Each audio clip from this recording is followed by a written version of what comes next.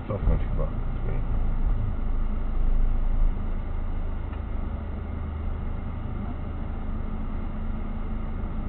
Nie wiem, czy nie byśmy chyba wjeżdżać na ten krawędzi. No rzeczywiście, na taki krawężnik będę wjeżdżać. On ma cholerę